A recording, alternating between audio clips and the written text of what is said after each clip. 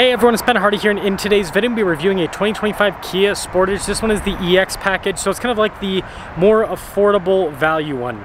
Before we get in this video, I want to give a huge shout out and thank you to the Jerry Seiner Kia here in Salt Lake for me some time with the Sportage. I'll include a link to their website in the description down below. If you have any questions, just ask for Bryan. Also include a link to my car buying guide. Let's get into it.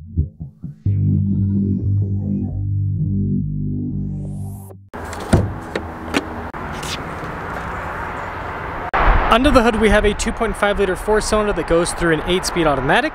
Fuel economy is 23 around town and then 27 on the highway with power outputs being 187 horsepower and then 178 pound-feet of torque. Before I move forward with this review, I do want to mention if you want see more videos just like this, then I recommend you subscribe because I post content every single day. Well, when it comes to looks, the Sportage is definitely unique.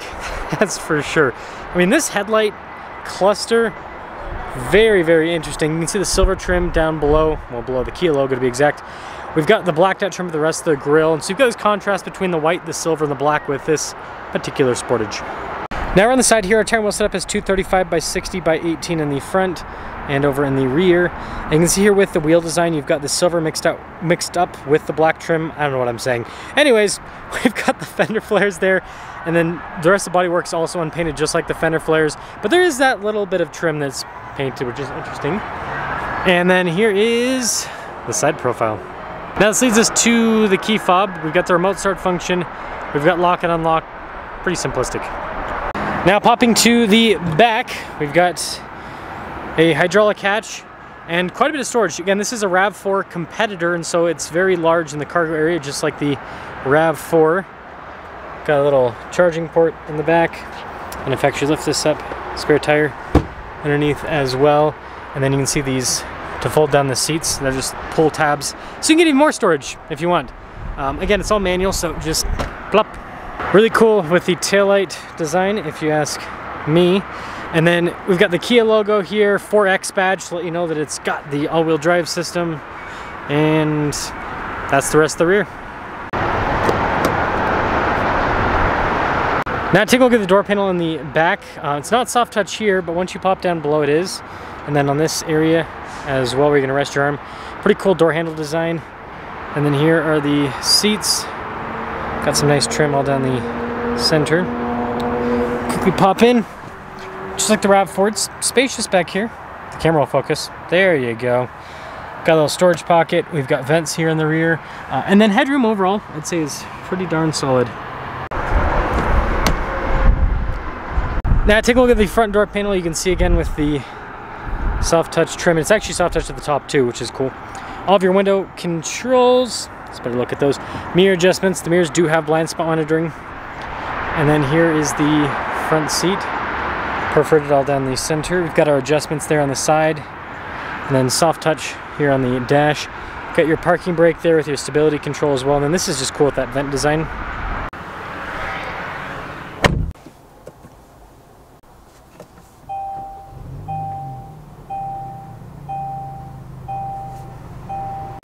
Now take a look at the steering wheel. You can see soft touch all around. You've got the blacked out stitching there in the center. A bunch of practical controls on the front. Um, this is for like the center screen, for example. You have got depth cruise control with your lane centering. And then Kia still uses traditional stalks on the back. Now you got this full digital gauge cluster, which we can use to scroll through different bits of info with the vehicle, which I think is pretty neat. And then aside from that, we do have some different drive modes. Changed the look of the gauge cluster a little bit, but nothing crazy. Backup camera in reverse, trajectory lines turn with the steering wheel, pretty good resolution overall.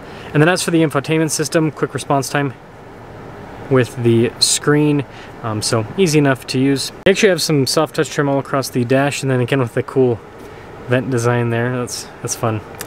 And then this has the multi-function controls, so radio mode, climate mode.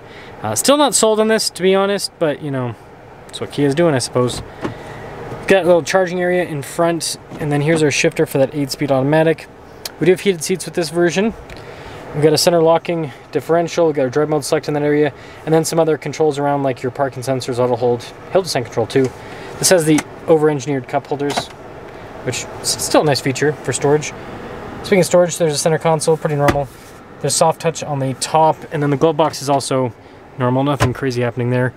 Manual mirror dimmer, uh, no center for this. So 2025 Sportage EX, uh, 33,495 is the total MSRP in this particular one. Let's see how it performs.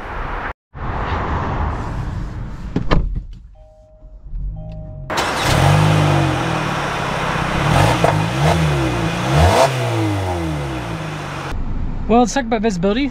Here's visibility over the hood, both the mirrors. Throughout the rest of the rear. And oh. let us set off in the Sportage. Sorry, gonna be an awkward camera view for a second because I gotta make sure I don't hit into any of these other cars. Tight parking lot. And we're good we're good. So,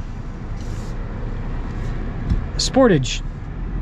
This is supposed to be a RAV4 competitor, and you can see they've like really, really mimicked the RAV4 a lot with this. I mean, 2.5 liter four cylinder, eight speed automatic. That's the same as the RAV4. Now this has less power than the RAV4, which I find interesting. Um, but yeah, a lot of the a lot of the packaging is very, very similar, which is interesting to say the least.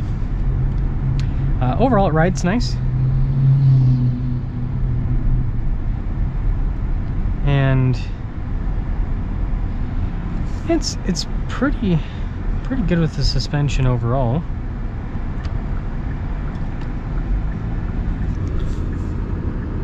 See how the power is once we actually oh no okay well we're going the alternative route so bear with me here. These trains in Salt Lake, if you don't know, when they're coming through here, they could be there for two minutes. They could be there for like 10, 20, even longer. So it's not worth waiting unless you really have to. But it, honestly, if you have to get across, there's a bridge just down the road. So you might as well do the bridge instead of waiting in the tracks. Just my two cents on that. But yeah, I guess Subaru is another thing that people could be comparing this against. Yep, see, that there's our first person that's like, not waiting, because that train's not moving, let me tell you. It won't be moving anytime soon. I guess I'll pop it into the sport mode here, see what the acceleration is like.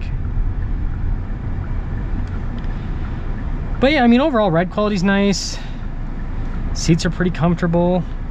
The interior in here is, I mean, this is not even a loaded up one. This is kind of like your value play and it's nice Kia does a good job with offering solid value on the cars and features too like you know it's got dual zone climate for example heated seats i will say the auto stop start on this is way too aggressive it is just constant as soon as i get in the brake just calm down there buddy and then it turns right back on because the ac's yeah so it's not a great system Gonna give this Dodge a little bit of space. Okay, punch it.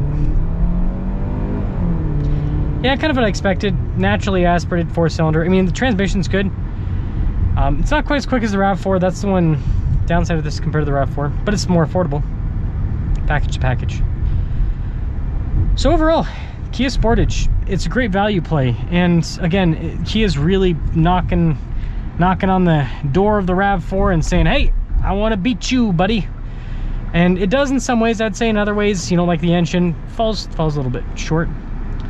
But overall, it's a, it's a pretty solid crossover. So let me you guys think about the Sportage, and let me know if you'd go Sportage or if you'd go RAV4.